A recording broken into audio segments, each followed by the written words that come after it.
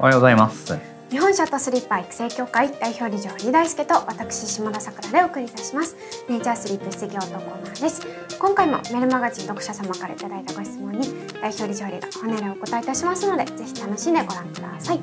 では堀さんよろしくお願いします、はい、よろしくお願いします、はい、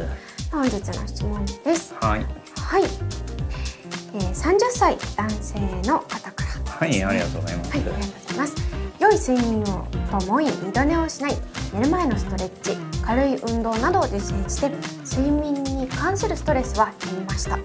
気になるのが夜寝る時に寝ようと思って寝るのではなくほとんどが寝落ちになっていることです。寝る前にスマホをいじるのですがその間に寝落ちするのがほとんどです。寝ようと思う時に寝ることもできるので特に問題を感じてはいないのですがやはり寝落ちは避けるべきなのでしょうか？はい下げるべきです。ね、あと良い睡眠っていう発想も捨てた方がいいですね。結局睡眠の最中っていうのは記憶がないはずなので良い悪いなんて何が判断するのかっていうと後日の自分の体の状態とか、うん、ただそれは睡眠だけではなくて例えばウイルスに感染したとかだったら体調悪いでしょうし。でそれがもし睡眠時間短い時に発症したってなったら睡眠のせいにし始めるとかになっちゃうんですよ。って人間って。だから睡眠の中身を考えないことってめちゃめちゃ重要なんですよ。睡眠の中身をどうにかしようみたいなメソッドがたくさんこの世にもちょっと出てきちゃってですね、まあしかも僕の受講生の方がなんかちょっとね全然違うこと言い始めたりもあったりするので、はい、なんだかなって思うところはあるんですけども だから熟睡とかねそういうことを言ってるのは大概嘘だと思ったらいいです。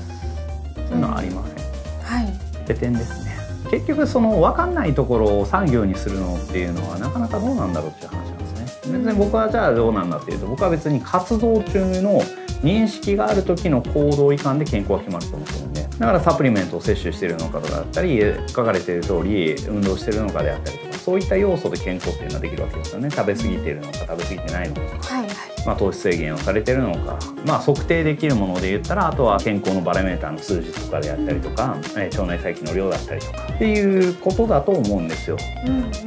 今言った中身で睡眠なんて一個も関係ないじゃないですかって話になってくるわけですね。うん、なんか皆さん睡眠になった瞬間に途端に脳みその回転止めちゃうんで、良い睡眠ってなっちゃうんですよ。うん、なんか睡眠が大事まあ、僕は大事じゃないとは一言も言ってるつもりはないんですけどもあの大事だって言ってる割には何が大事かよくわからんですよ。こうよく疲労を取るために寝られるっていう方も多いようなイメージいやだからまあまあそれはイメージでしょうし疲労を取れるのもイメージでしょうし疲労なんか取れるわけないんでここら辺言ってもあんまりわからない方が多いので説明会来ていただくのが一番早いのかなとも思うんですけども。うんまあ、簡単に言うと睡眠と疲労なんていうもののエビデンスがあるんだったらこのようにたくさんもう出てるはずなんですよ。でもないじゃないですかこのように。そんなエビデンス。疲労回復を睡眠で行ってるっていうんだったらなぜ無職が一番睡眠時間長いのかっていう。サボってる大学生とか睡眠時間長いでしょ、うん。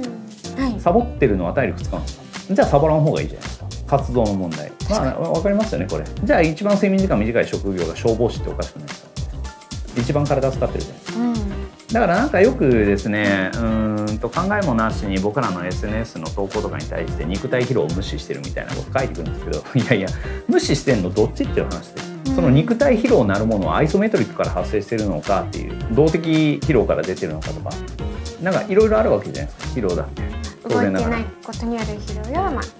まっていることに例えばね側筋チキンの問題とかだってあるでしょうと、はい、どの部位が疲労したのみたいな。じゃあその疲労に対してテストステロンっていうのがどれぐらい出たり成長ホルモンっていうのがどれぐらい出たりもしくはそれが長期に続いてコルチゾールがどれぐらい出たかとかによっても全部変わる。一概に言えないことっていうのをひとまとめにしてそれを全部睡眠のせいにしてるっていうようになったらおかしい話なので、まあ、だから良い睡眠とかっていう発想は抜いた方がいいっていう睡眠は何も行われてないぐらいで思ってた方がいいんじゃないですかね。その方が単眠の実施ももちろんしやすいはい、じゃあそれであれば別に寝落ちしてもいいんじゃないですかっていう話になるかもしれないですけども僕らは睡眠のコントロールをお伝えしてるわけなんですよ。コントロールすることが重要ですよってお伝えしてるわけなんでだから寝落ちは良くないじゃないですか。だって自分のコントロール外じゃないですか。それは自分の人生において良くないでしょっていう話です。単純に。うん。OK ですよね。分かりやすいですよね、うん、だから起きる時間がずれました。1時間前倒しでした。あ時間ができてラッキー。かもしれないですけどもそれはコントロール外だから本来は NG もちろん2時間寝坊した。これも NG、うん、コントロール外なので全部コントロール下に置くっていうのを正しいとして。ますそれ以外は全部 NG ということは寝落ちは NG 自分で狙って寝れるっていうのが、まあ、できるのでじゃなくて100%それにする。ストライク入るのは分かってるけどってフォアボール出し続けるのもおかしいじゃないですかそうです。ストライク僕は入れることできるんですけどね。みたいな寝落ちが悪いイメージがあまりないんじゃないかなっていう。ないこともないと思うから質問していただいてると思うんですけどどれぐらい悪いのかっていう多分程度問題だと思うんですけどね。で僕らの回答っていうのがまああんまり悪そうでなかったらね落ち続けようとかかもしれないですし最終的にはどっちでも僕はいいっていつも言うんですけど睡眠は人の自由ですのでコントロールしないという選択肢をするのも自由です。ただその代わり周りの人は迷惑する可能性だってあるでしょ。うコントロールできてないことによって弊害が生まれたりとかもあるでしょ。うなんとなく OK ですか？大丈夫です。はい。リスありがとうございました。ありがとうございました、はい。本日の、えーネイチャースリップ水業とコーナーは以上となります。睡眠に関するご質問などございましたらお気軽にお問い合わせください。ご視聴ありがとうございました。ありがとうございました。次回の動画もお楽しみに。